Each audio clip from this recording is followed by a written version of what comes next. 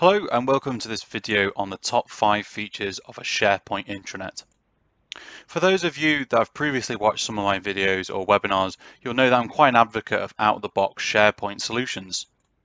So I thought I would create a video to show you the top 5 features that I really like about SharePoint as an out-of-the-box intranet. So starting at number 5 is the news carousel within SharePoint.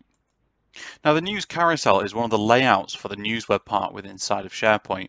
Now anyone who's created a modern SharePoint intranet will be aware that you can create these news articles and display them on the homepage.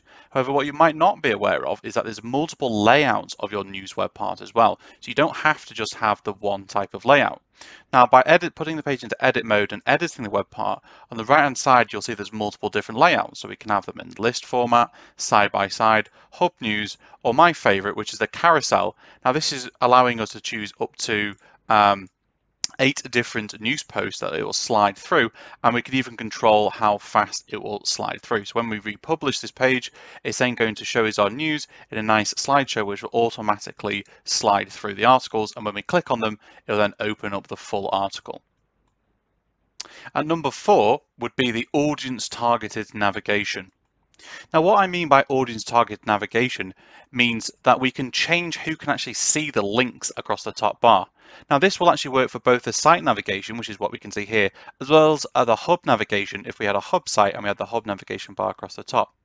Essentially, when we go to add a new uh, icon or, or uh, edit an existing link on the left-hand side, you'll be able to see that we can specify um, the, the link, the address, and the display name. However, at the bottom, you can also see we can enable audience targeting. So if we turn that on and click on save, the next time we then go into the edit menu and then create a new item, you then see an additional option here which says audiences to target. Now we can specify up to 10 different security groups or Microsoft Teams that we want to target this particular link to.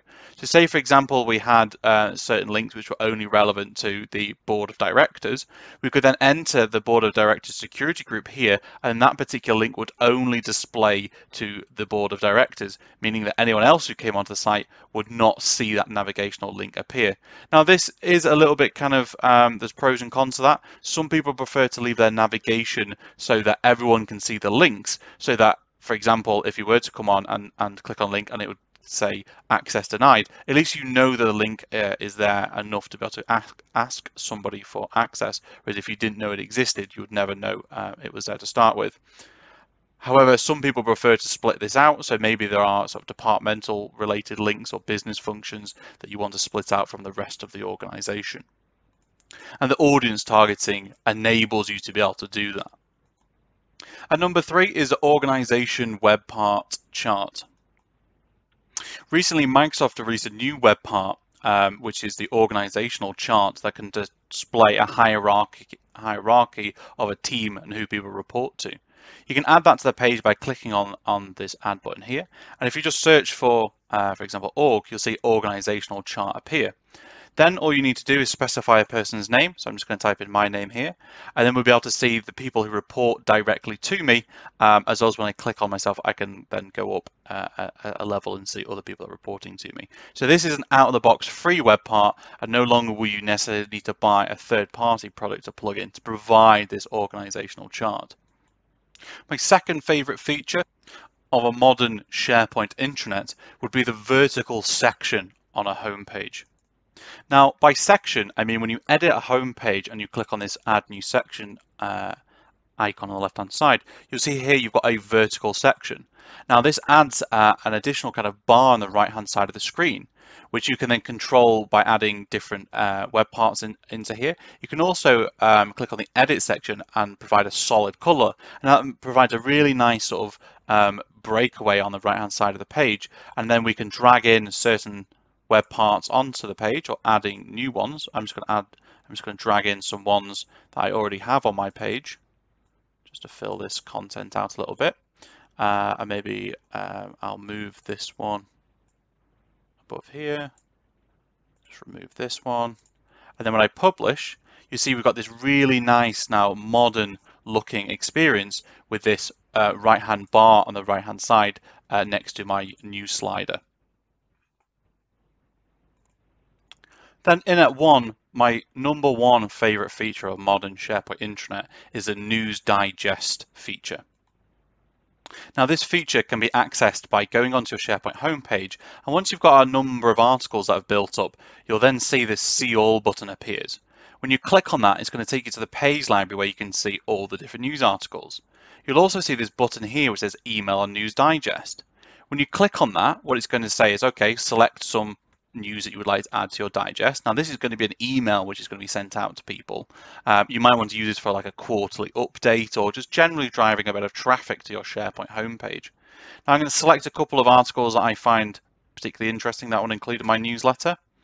And then when I select them and click on next at the bottom, uh, it's then going to show me a little preview of what my newsletter is going to look like. And I can put in some text here. So I'm going to say this, oops, uh, this is some text. I just paste that a few times. So it's just a little bit of dummy text I can put in here. I can put in what my title will be. In this case, it'll be a winter newsletter. And then I can specify a distribution group or individually people I want to send this to. So once I'm happy with this, I can then click on the Send News Digest button across the bottom. And that's then going to send an email News Digest, uh, in this case, just to myself, but it can be sent to distribution lists as well. Then the newsletter email will come through. So I can see the full news digest here with the information they put in, the title, um, the site that the news digest has been generated from and who sent it, um, as well as I can see the information on these articles when I click on them and I can view each one, or I can click on go to site, which is going to open up the overall intranet.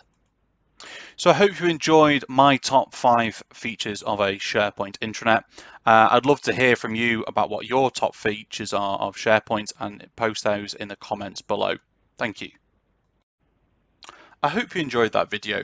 If you need help, we do offer professional services, including bespoke development, pre-built solutions, training packages, and a pay-as-you-go support service which bridges those knowledge gaps within your existing team.